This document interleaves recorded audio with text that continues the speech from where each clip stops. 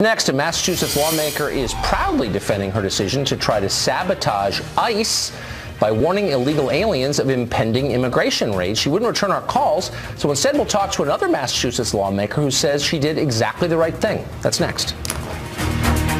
It clearly makes their own cities less safe. That was Attorney General Jeff Sessions on the O'Reilly Factor talking about the administration's crackdown on sanctuary cities. Meanwhile, in the Commonwealth of Massachusetts, State Representative Michelle Dubois says she has no regrets about trying to help sabotage the enforcement of federal immigration law. On Tuesday of this week, she posted rumors that ICE was going to conduct raids in Brockton, Mass, and urged illegals to go into hiding. Her fellow Democrats aren't exactly racing to defend the rule of law. Jamie Eldridge is a Massachusetts state senator. He supports Representative Dubois' efforts and is himself trying to make Massachusetts a sanctuary state for illegal immigrants. Senator Eldridge joins us tonight. Senator, thanks for coming on. Tucker, so, thanks for having me on. So you'd like to see the state of Massachusetts vote to make the Commonwealth uh, a sanctuary for people here illegally, which seems to me legitimate. You know, voting on things, making laws, great. If you're able to do that, how would you feel if a sheriff in Massachusetts encouraged people to ignore the law that you passed? Do you think he should be punished for doing that?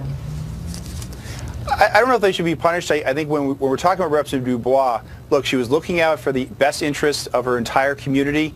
We know that uh, these ICE raids have been incredibly destabilized to communities. They actually cause uh, immigrants, whether legal or undocumented, to have less trust in calling the police about a crime goes, so she was really looking out for the best interest of all of her constituents, including the immigrants in her district. Okay. And, you know, that's why we filed the Safe Communities Act to limit uh, police interaction with ICE raids. Right. I, I, I, get all that. I've heard all that a lot. There's no social science to suggest that any of this makes the community safer, but whatever. The point is... No, no, there is. is there, there's studies that say that sanctuary cities are safer. There is. They are safer, but not because they're sanctuary cities. There's no proof of that. But here's the, here's the point. Is it a little weird for lawmakers to be encouraging people to ignore the law? Well, look, we all have different approaches as legislators. You know, in, in, the district I represent, when we've heard rumors about ICE raids, what I've done is reached out to the police uh, so they can reach out and check with ICE agents to see if this is happening because, you know, with the, the disturbing Trump, in my opinion, xenophobic policies of ICE deportations, making everyone a priority for deportation if you're undocumented, we need some limits at the state level with our taxpayer dollars, with our state and local police not only because it'll make communities more safe, but it's also something uh, that will that will limit the fear that many immigrant communities are, feel, okay. are feeling right now. But, but I mean, let's can we just be real? You, you do this for a living. You know how this works. Trump didn't write these laws. He didn't pass these laws. He's not a legislator. He's not a lawmaker. He's enforcing laws that are on the books that were passed with a lot of Democrats voting for them. So what he's saying with some is very disturbing executive orders. I mean, okay, I mean, okay, Tucker, okay. executive but, orders prioritizing on, everyone for deportation. The, the, basic immigration law is clear to everyone who lives here, which is there's a process by which you get to come here, you get a green card, you get a visa of some kind, and if you don't have that, you're not allowed to be here. That's the law. It was passed by Congress. It's been that way for 240 years. Nothing to do with Trump. And so my question is, do lawmakers get to decide which legitimately passed laws they're going to try to subvert or not? Can you kind of see the problem here? Well, I, I disagree, Tucker, because we're talking about state resources, uh, local and police law enforcement, and we, yes, at the state level, we get to make decisions about what level of cooperation we have uh, with federal policies, uh, with federal actions like ICE agents. So that's that's no, the law we're, no, you, line we're no, drawing. It's about federalism. Because it's not about it's not about federalism. Here you had a state lawmaker encouraging people to violate the law and doing so explicitly on social media. How would you, and this is a sincere question, I'm not attacking you, how would you feel mm-hmm. if, uh, if the governor of Massachusetts decided that you know, we don't have to pay federal income taxes because, you know, they're bad and they cost Massachusetts a lot of money. Would you be in favor of that? Should governors or state lawmakers be able to decide that? Or how about federal gun laws? How would you feel about that if the governor said, I'm not enforcing federal gun laws? Is that legitimate too?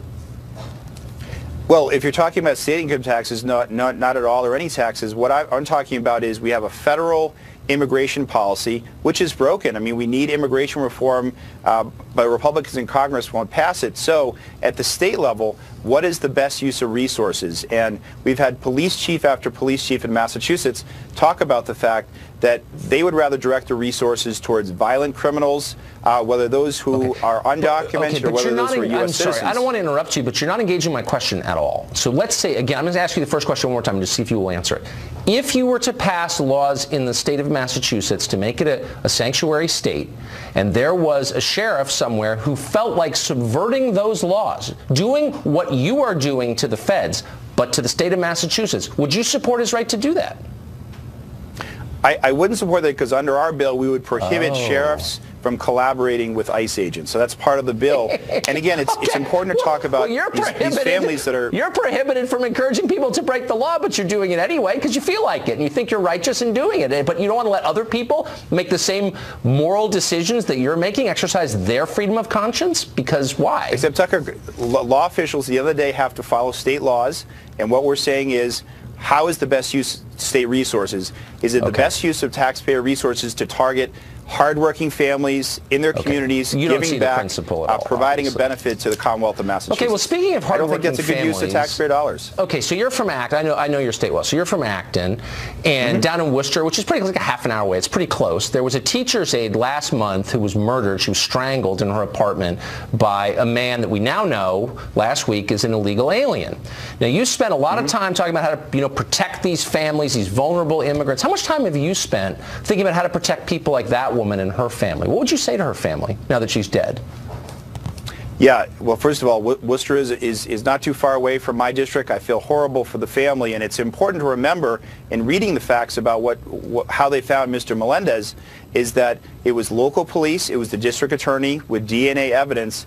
ICE agents were not at all involved in uh, catching this person. Uh, it was it was a case of old police work uh, that was able to capture this person. I get it, but and, he shouldn't have been here and, in the first place. I mean, as you know, he, it was illegal for him to be here. There's no dispute on that. He was an illegal alien. If he hadn't been here, he wouldn't have murdered this woman. So encouraging him to stay here I'm not accusing you of complicity in her murder, but I'm just saying you can kind of see the connection here as a human being, can't you? Like, what would you say to her parents? Well, Sorry? I, I, think where I think where I where you're making where I disagree with you is that if we just have a broad brush against all undocumented immigrants, you're, you're not really creating the trust that allows immigrant communities or anyone in a community from feeling comfortable to call the police if they see a crime in their neighborhood, I've, in their I've community. heard that talking point. Last question. Who should be deported? You got 11 million odd, maybe more, uh, illegal aliens here in America.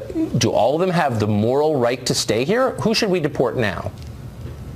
Well, we, have had, you know, past, past administrations like the Reagan administration that did immigration reform, that legalized undocumented immigrants. Well, what do you I think? think I mean, should we deport undocumented immigrants, undocumented immigrants who have a violent criminal history, who've committed a violent act, they should be deported. I think that's common sense, and I think people agree with that. But a broad brush, as President Trump's executive orders has done, that prioritizes all undocumented immigrants, including very hardworking families, I think that's outrageous. I think it's xenophobic, and I think it's deeply disturbing. Xenophobic. All right. Senator, thanks for coming on tonight. I appreciate it.